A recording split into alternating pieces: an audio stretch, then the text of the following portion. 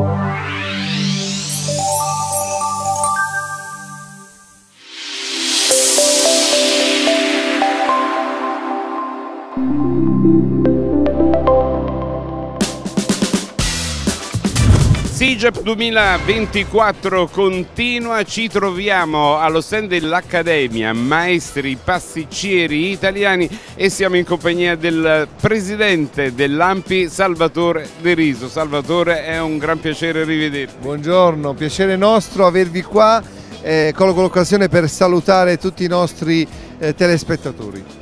Parliamo della vostra presenza stavolta per la seconda volta a SIGEP in modo più che strutturato. Beh, devo dire che l'Accademia, come sapete, è ormai nata da più di 30 anni. Eh, siamo stati sempre presenti al SIGEP con un piccolo stand eh, ma poco conosciuto. Invece sono due anni che abbiamo voluto questo stand così bello, così grande, proprio per presentare al meglio, per far conoscere a tutto il pubblico eh, del SIGEP, un pubblico che arriva da ogni parte del mondo, quello che è l'Accademia dei Maestri Pasticceri Italiani, quindi l'esempio più eh, lampante, più preciso, più chiaro di una pasticceria di altissimo livello ehm, perché l'Ampi appunto è formata da un gruppo di pasticceri di tutta Italia, grandissimi professionisti, tra i migliori pasticceri d'Italia che si confrontano ogni volta, ogni giorno e durante i nostri incontri per promuovere e per migliorare la pasticceria italiana. In queste vetrine che vedete qui nel nostro stand sono uh,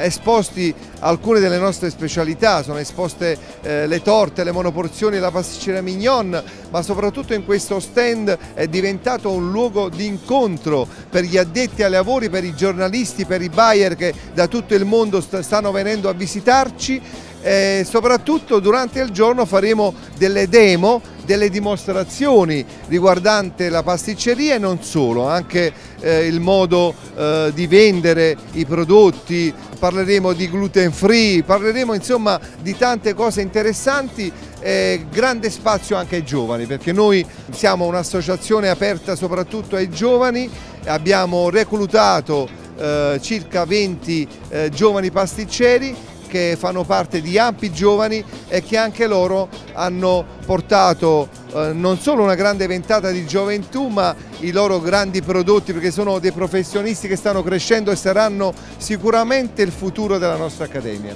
Guardando loro,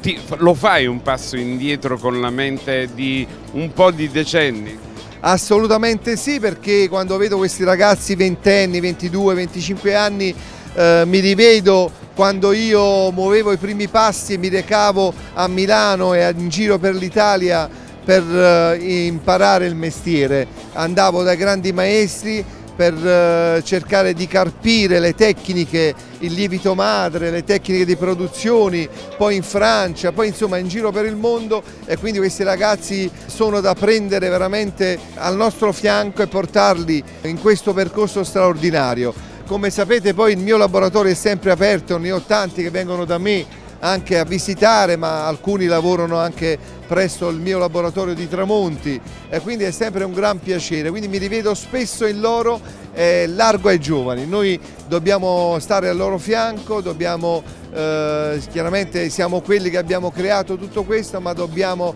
pian piano metterci da parte e fare largo a loro. Allora, prima di andare via, perché so che tu hai più demo pro nelle prossime ore e ti stanno aspettando, io una domanda devo fartela perché tutte le volte in cui ci siamo incontrati avevo promemoria la domanda, ma non l'ho mai fatta. Tu hai tantissima esperienza, hai un vissuto più che trentennale in questo settore, ma non ci hai mai parlato del giorno in cui hai avuto la folgorazione, del giorno in cui hai detto ok, questa è la mia vocazione, voglio fare questo mestiere nella vita. Ma guarda, io da ragazzino, da, da ragazzo eh, ho avuto questa, questa voglia di fare questo lavoro